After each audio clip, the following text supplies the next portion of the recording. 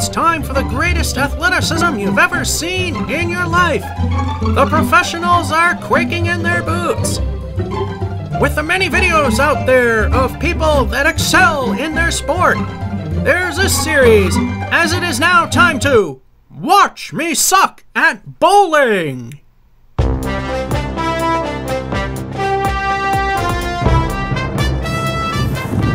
December's videos are coming to you from the Palace here in Fitchburg on the lower part of Daniel Street. And this is what it is. And when I first saw pictures of this, I figured this was a theater at one point because the front looks a little fancy. That's because this was a theater. And in the 50s, it closed. Strangely, in the 50s, it closed because theaters were in the golden age at that point prevent people from vandalizing the building, there's been a mural put up there. It's about Fitchburg. That nice little park here. Nice little park here. So what we're going to do now is go into the palace and have a look around. And no,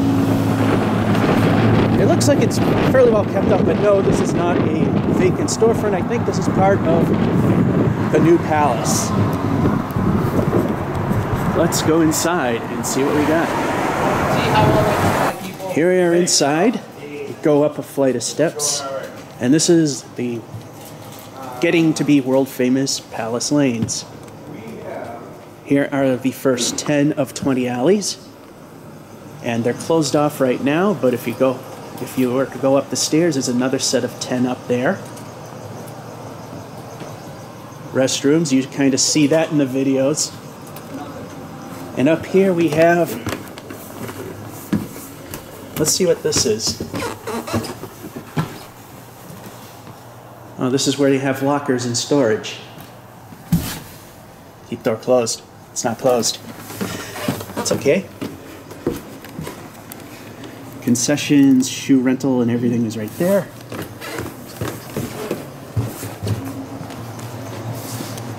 Candy machine with no candy. Concessions at the bottom.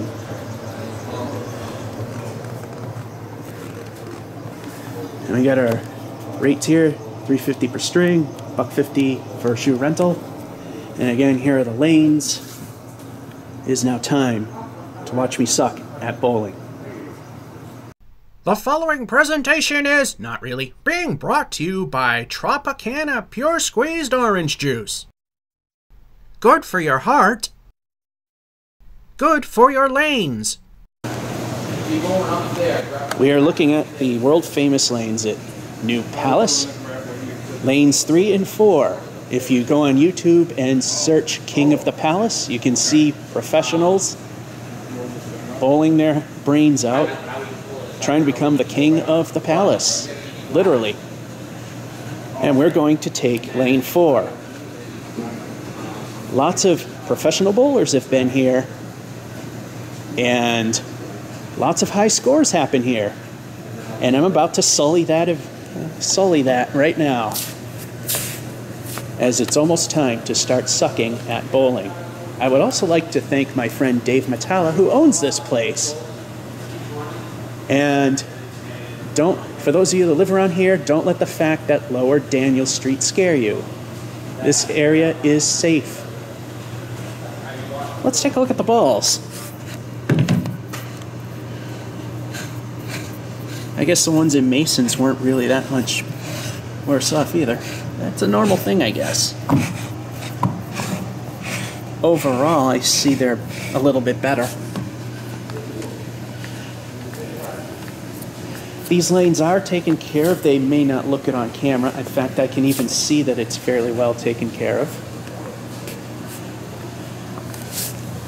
You can see where all the pros have dropped their balls into the lane. And supposedly, this place, he was telling me, is more forgiving than Masons where the last series was shot. All right, without, without further ado, it's time to start sucking at bowling. and there's the famous restrooms you see. Frame one, ball one. Here we go.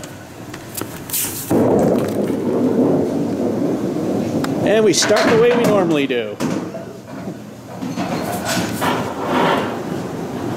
Frame two, I mean frame one, ball two. I don't even have to mention the frame really. That one's better. And we got the four horsemen. Ball three. We got some wood out there to help us.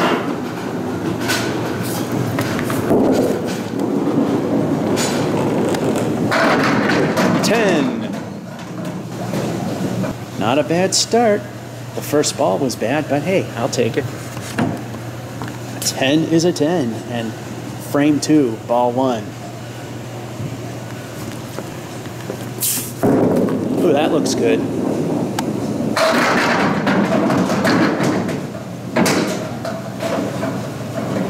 Yikes. Ball two. We got a piece of wood that could help us with the one in the middle.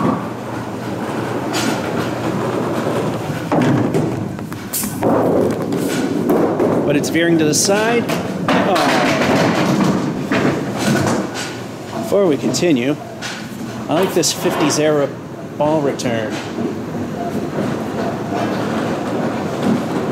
Screams 1950s. I like how it looks. Mason's had the late 60s, early 70s basic geometry thing. And this is the third ball. And gutter. Does not count. That's an 8. Dave is right. This place is definitely more forgiving. Anyway, we got a 10 in the first frame, which started with the traditional knockoff just one pin routine. And the second one was an 8. If that ball just stayed on the lane, it could have been a 9. Still not a bad start, but we know how things go on this show, right? So far at 18, I don't I don't think we're to beat the new high, but we're not doing too bad.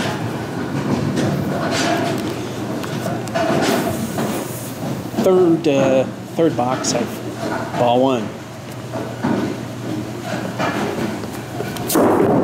Got her. Not even zooming in on that one.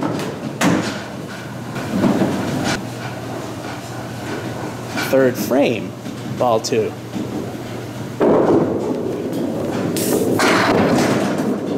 Well, it's to get hit something. Or maybe not.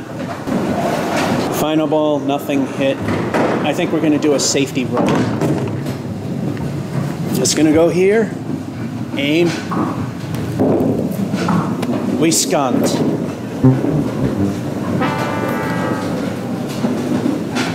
Skunked. Let's not repeat that one. Fourth frame, ball one. We need a strike or a spare. And that's not going to happen with that one.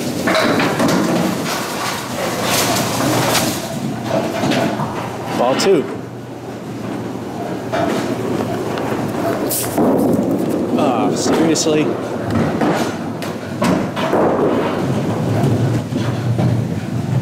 Ball three. That one's going to do something. Not much. One, two, three, four, five, four, seven. It's only three. Wow. Talk about disastrous.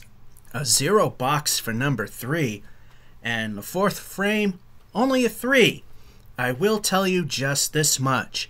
There was something that I normally do that I haven't done in those two frames, and spoiler alert, it still continues. See if you can spot it.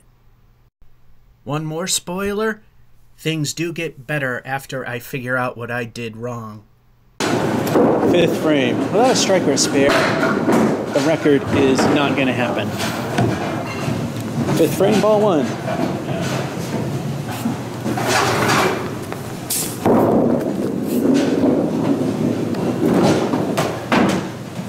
Yeah. Ball two.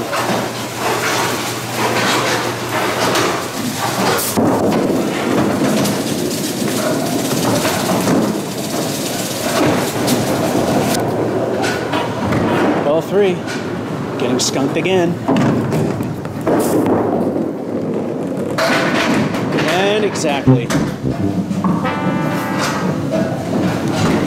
Sixth frame. Ball one. Needless to say, everything went to hell.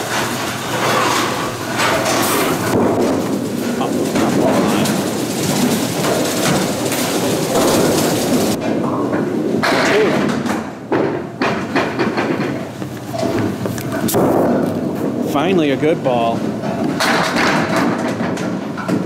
Sort of.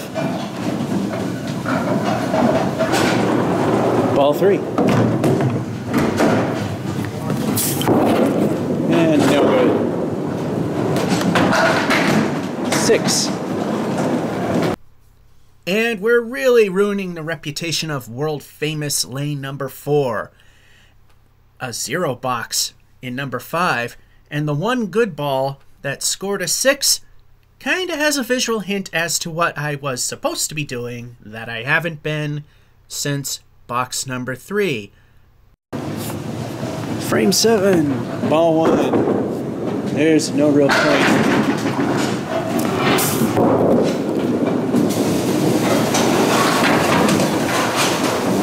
Just inside. Ball two. Finally, something good. Then that happens. Some wood to help. Ball three. Got it. Six. Frame eight. Ball one. It's just for fun at this point. That one's not too bad. Then that happened. Ball two.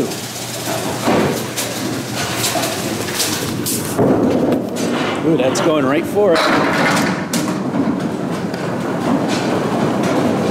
Starting it back into things. Ball three.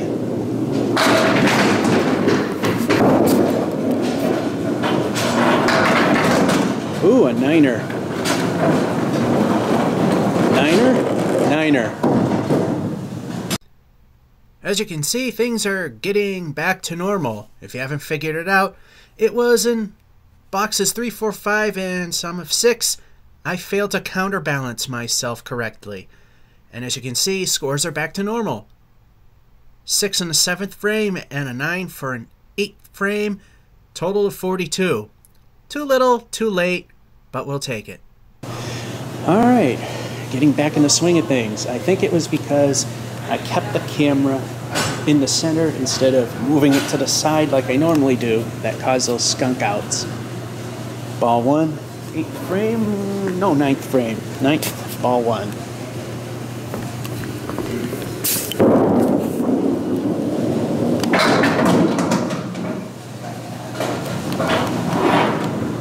Ball two.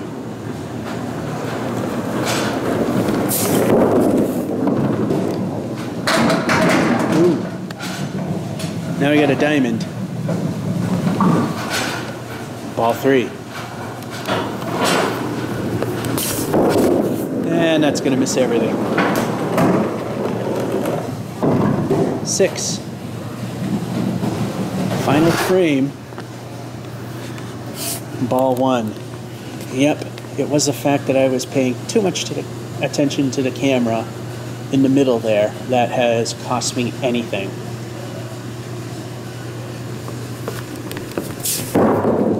That's a good one. And uh, that's not that. That's not that good, but we have some wood that could help us if we hit it. Ball two. We got plenty of wood.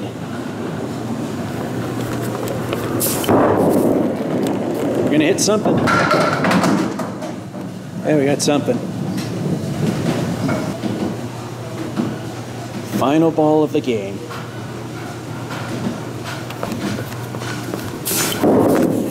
Will it? Yes. 10. Good way to round out a rotten game. As you can see, after proper counterbalancing, the game has pretty much returned to the way it should have been from the get go. If I were paying more attention to the game instead of making sure the shot looked good, the scores wouldn't be so low. Anyway, 9 box is a 6, and I got a 10 on the 10th. Final score of 58, which is pretty bad, but considering how I screwed everything up from the beginning, well, that's just how it is. And that concludes the very first episode of Watch Me Suck at Bowling from the new Palace Lanes, Fitchburg, Massachusetts, sullying the reputation of Lanes 3 and 4, known for their high scores in competition. georgef551 says, Hope you enjoyed, and have a good one.